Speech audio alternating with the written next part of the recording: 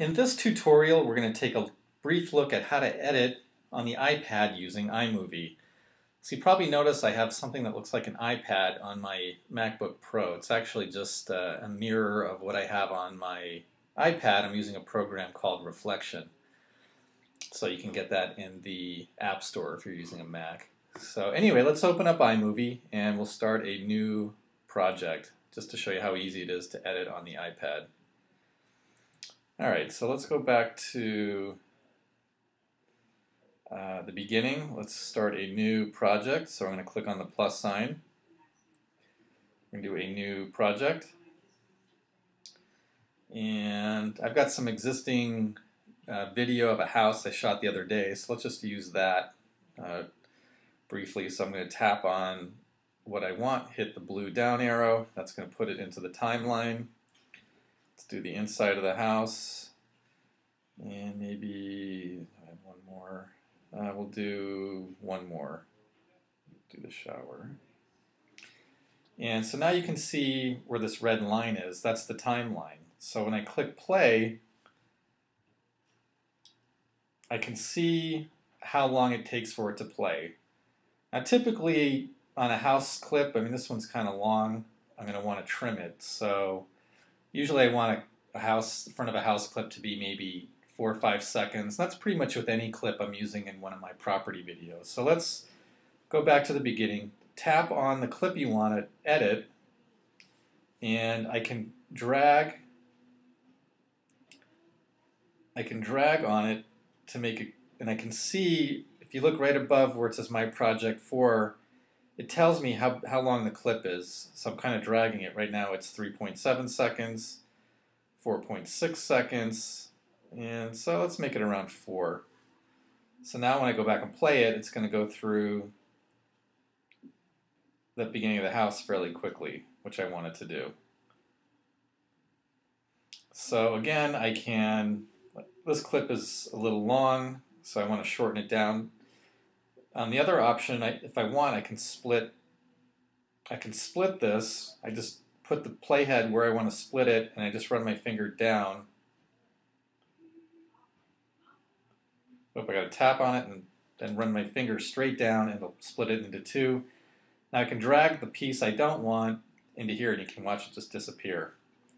So now this is I, I this is where I have the uh, the video. Okay, so let's say I want to add some music. I come over and click on the music. And let's pick out some theme music. And we'll just use Bright just to make it easy. So I just need to tap on it twice, and now I have the music in on the video. Uh, the other thing I can do is add a little intro clip. So here I can do title style, and I want this to be at the end. So you can see here I've got a little, and I'm double tapping to make things come up.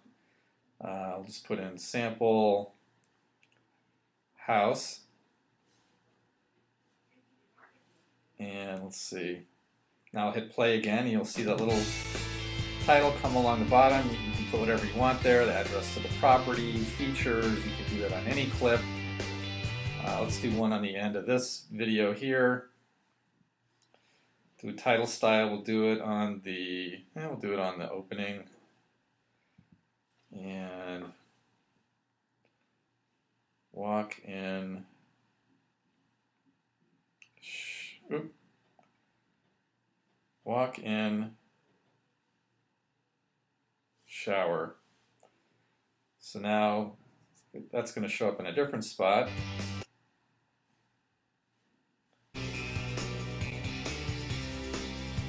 On the side.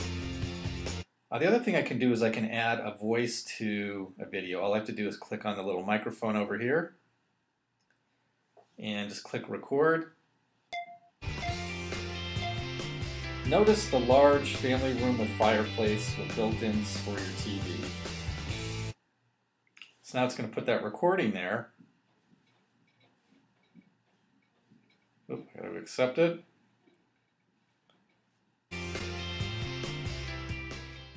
Notice the large family room with fireplace with built-in, and that's my voice there. believe I can move this around.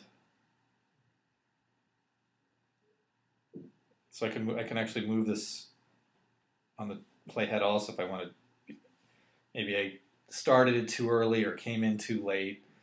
Uh, anyway, as you can see, iMovie is a very powerful program. Uh, what you will need to import your videos from your camera into the iPad is a, a, card reader, which you can buy. I think I bought mine on Amazon for like $4, so it just plugs right into the bottom of the iPad. Very easy to do.